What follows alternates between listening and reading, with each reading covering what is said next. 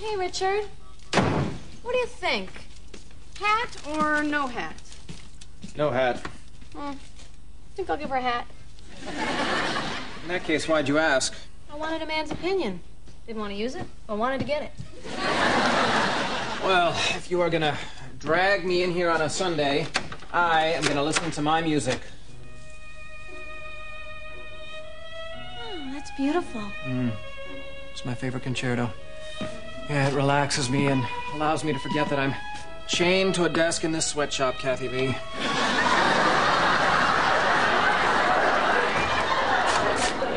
hey, turn that crap off. You need to listen to the radio. Why, is Howard Stern spanking a friend of yours? Come on, Richard. It's Sunday, the Lord's Day. Why don't you go to Mass and drop a candle down your pants? That's Seth on keyboards. Thank you for joining us for another live edition of Nothing Trivial. With me, your host, Professor Marv Brzezzi. So, ah, what do you think? Well, I can tell you're white. So, Seth's got a steady gig, huh? Yeah. His dad hosts this quiz show on a little public radio station. His mom works there, too. And get this, he wants me to come to the next show and meet them. Wow, that's a big step for you, Annie. I know. That's why I'm nervous. His parents are these big intellectuals and stuff. So will you come with me? Because I don't want to sound like an idiot. I really want his parents to like me. Yeah, I'll you do. I mean, if you married into that family, your children would actually have a chance of walking upright.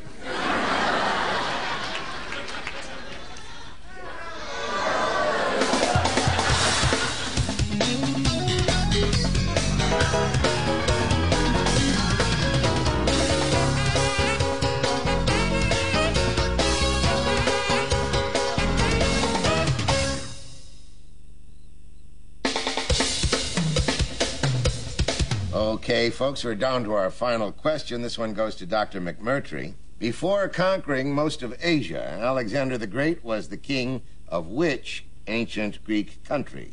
I believe it was Mesopotamia. Macedon. Oh, I'm sorry, that is incorrect. Now, Miss Stratton, it's up to you. A correct answer wins you the game. Macedon, Macedon. Macedon. Right you are. You're a winner, Miss Stratton. Congratulations. You just got five in a row. How do you know about Alexander the Great? Well, I know my trivia. Plus, that great Greek restaurant has those placemats. Did you know that uh, Sparta was its own city-state? I thought Sparta was a brand of condoms. We'll be back with Miss Stratton's next opponent after this short break. Hey, Spadaro? Hey, Radetzky. Wow, already on a last-name basis. Mom, Dad, hurry up. This is her, Annie. How very illustrious to meet you, Mrs. Radetzky. Oh, please, it's Naomi or Mom, whichever you prefer. So we finally get to meet. I was starting to think that Seth had an imaginary friend. Oh, uh, this is Caroline Duffy. Hi. Wait a minute. Caroline Duffy, as in Caroline in the city? Yeah, that's me. Uh, uh, 45 seconds, Marv, dear. That is the smartest cartoon in America. Caroline, is there any chance you would ever consent to do our show? She'd be egregious. Well, um, you know, actually, um, I'm very flattered, but uh, I don't think I'm contestant material. Of course you are, and we have some wonderful prizes. Oh. Thanks for the Triscuits. So, Annie, how was your date with Seth last night? Great. He took me to this smoky little blues club. He even sat in with the band and played a few tunes. Oh, it was, uh, terrific. And And what? I sense a big butt coming. Don't keep her waiting, Annie. Turn around.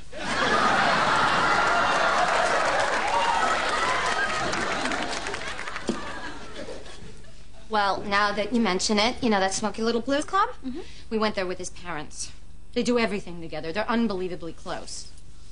Well, I, I think that's kind of sweet. Really? You don't think that's just a wee bit creepy? Wait a minute. How long have you been seeing Seth? About six weeks. Why? Oh, yeah. I almost totally forgot about the traditional six week freakout. I guess I'm just not used to a family that cares about each other. I could get kidnapped and my father would fall asleep reading the ransom note. Oh, Seth's parents are so excited you're doing their show on Sunday. Wait a minute, you're going to be a contestant on Nothing Trivial? Yeah. Huh? What? Well, you know, you don't exactly do your best in uh, high pressure situations. That is so not true.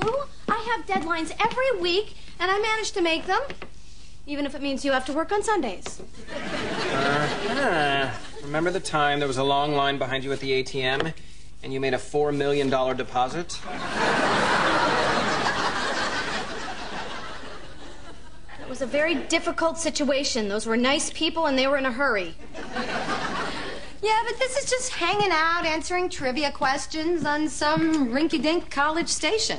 Oh, yeah. Did you know that that rinky dink college station is broadcast live to all 50 states? It is? Oh my god, I, I just freeze up in front of a lot of people. Oh, this is gonna be the Wisconsin State Spelling Bee all over again. Why, what happened? He asked as his nervous system involuntarily shut down. It was the third grade, and I. Caroline Duffy, your word is negotiate.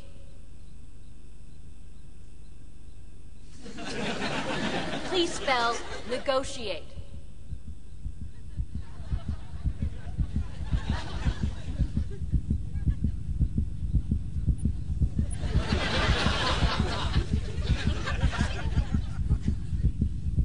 I'm sorry, Miss Duffy, your time is up. Please sit down. Jonathan, the word is negotiate. Negotiate. N E G O T I A T E. Negotiate. Correct. Congratulations.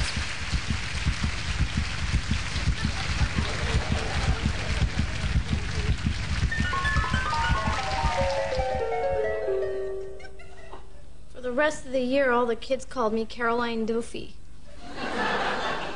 Honey. All you had was a little stage fright. You know, actors have to deal with that all the time. You just relax, you block out everything around you, and focus on what you need to do. Does that really work? Or you picture the audience naked, which never really worked for me. That's because you've seen them all that way anyway.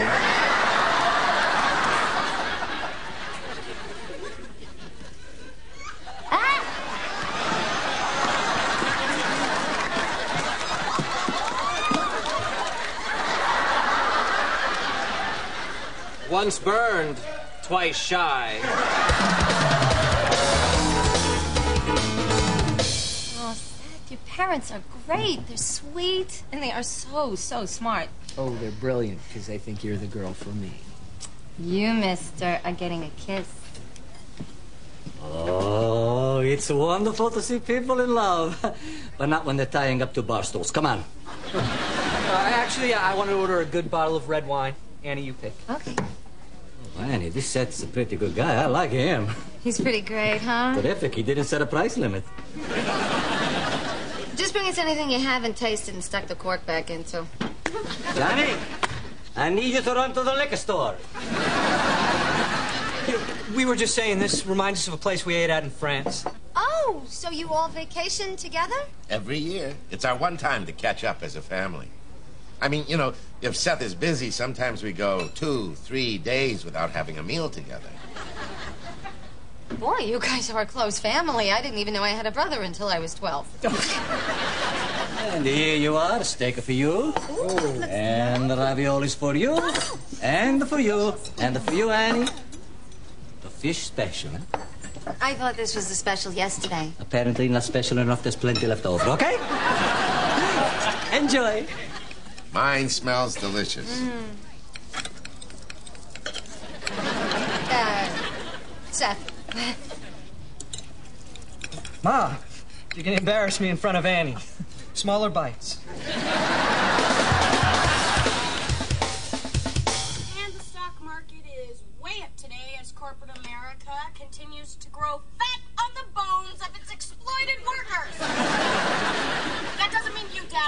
Rent check. That's it for the news. Now let's get back to Mellow Moods with Kristen Berg.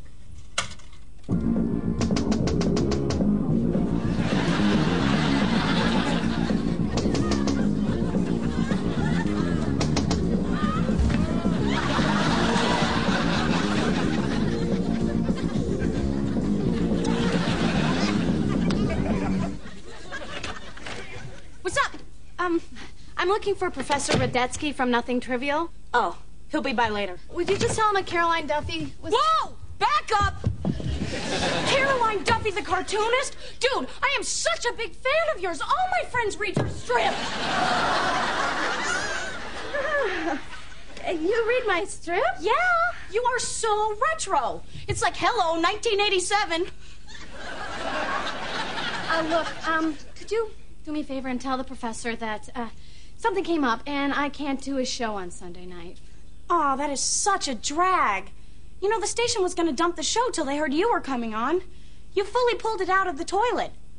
Really? Yeah, it's like, yo, toilet, give that back. I had no idea. Oh, the professor's going to be so bummed. That show was like his whole life. Old people crying is such a buzz chafer. Wait, I, I, I don't want to chafe anybody's buzz. Especially if that's a bad thing. Just forget what I said and tell the professor hi, and I'll see him on Sunday, okay? Really? Yeah. Oh, this is so cool! Oh my god! Wait till everybody hears I met the Caroline in the City chick! Dude! I just gotta have an autograph. Uh, oh, okay. Do you have something for me to sign? Yeah, sure. Right here. Right next to Mick Jagger.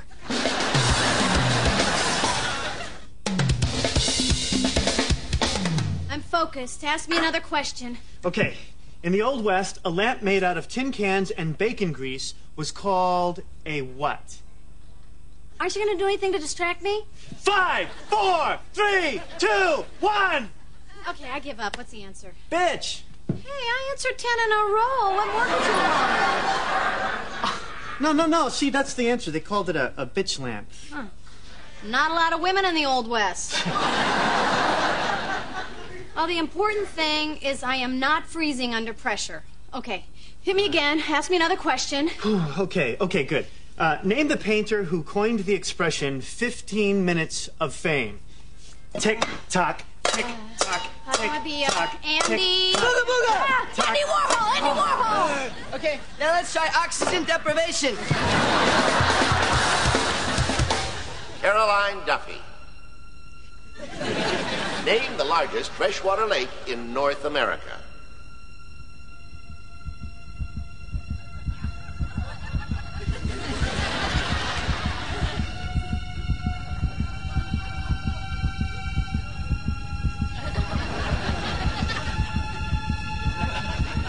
I'm sorry, Miss Duffy, your time is up.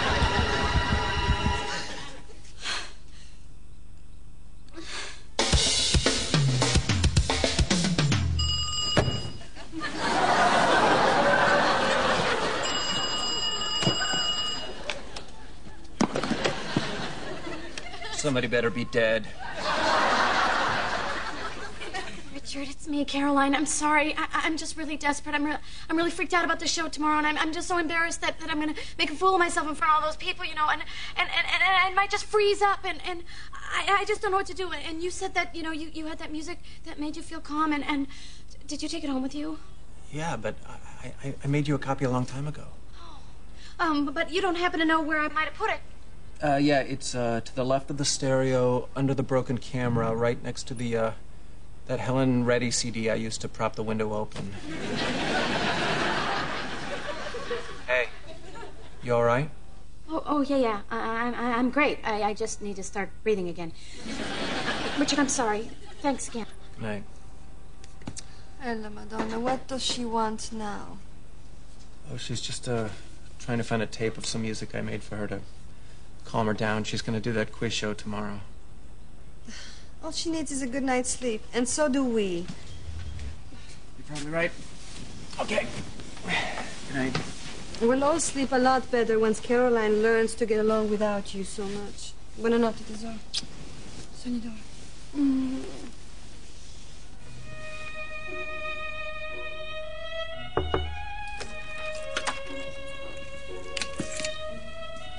Caroline?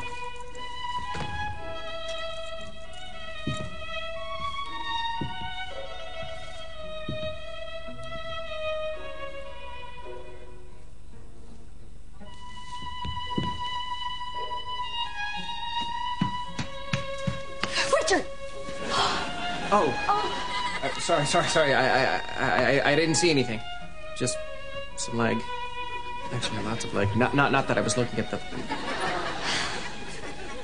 Uh, what are you doing here so late? Well, I mean, after you woke me up, I couldn't go back to sleep. I was just sort of uh, lying there. Oh, were you worried about me? No, no, it's a, it's a terrible mattress. I mean, uh, part of it's good, but uh, that's Julia's side now. Anyway, how's the preparation going? Well, you know what? Your music really helps. Thank you.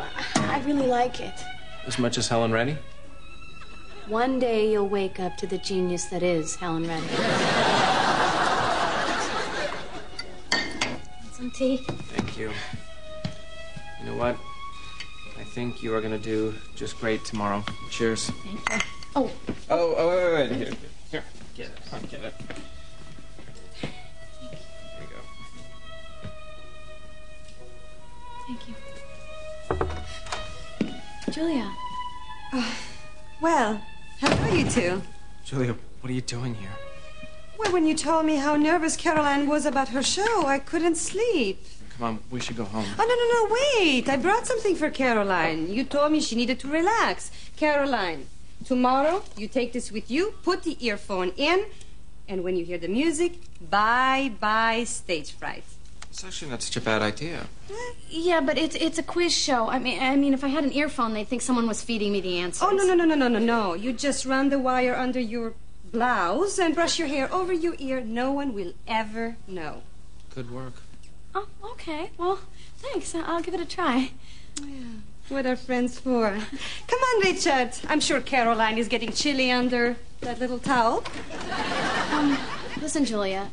Thanks for being such a good sport. I, I know how bad this looks. Oh, Caroline, please don't apologize. Every woman looks terrible without makeup. So you were alive when Elton John was straight. What was that like? Uh, scary. I need to talk to you. Oh, could you excuse me for a minute? Sure. Isn't she cool? It's like talking to a time machine. So what happened? Did you break up with Seth? I tried, but before I could get to the whole weird relationship with his parents thing, he invited me to Vermont for the weekend. Skiing, fireplace, jacuzzi, the works. We're back on track. Ah, that's so great. Yeah, you look mighty relaxed. Oh, yeah. Um, Richard gave me this music, and Julia told me to put this earphone in, and it's really working. That's great. Speaking of which, where is Gomez and Morticia? Oh.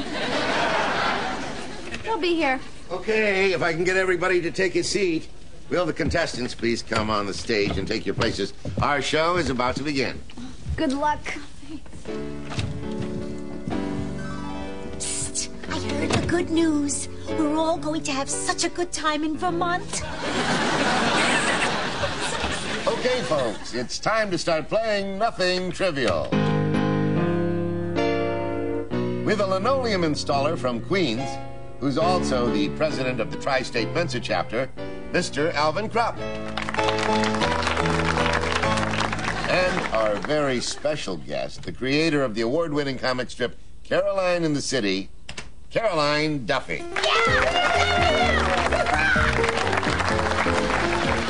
Romeo, would you get us some seats? I'll be right there. And our first question tonight goes to you, Caroline, for 50 points. Well, Uh, I'm sorry, before we start our game, let's pause 10 seconds for station identification. Caroline, there's a woman in the audience who says you're wearing an earpiece. Well, yeah. My God, Caroline, you're competing for Triscuits. now, Caroline, for 50 points. It's always been a dog eat dog world, especially in the Old West, where a lamp made of tin cans and bacon grease was called a what?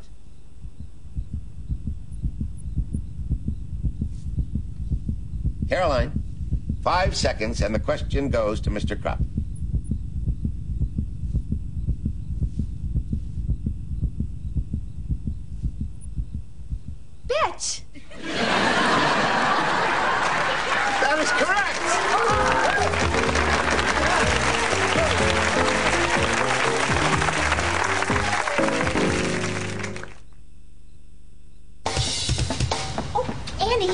Annie, I heard about you and Seth going your separate ways. I hope it didn't have anything to do with us. Oh, no. Sometimes things just don't work out. You, you guys are great. Oh, I'm so glad you feel that way because Marv and I want you to know that just because he broke up with you doesn't mean that we have to break up with you. No.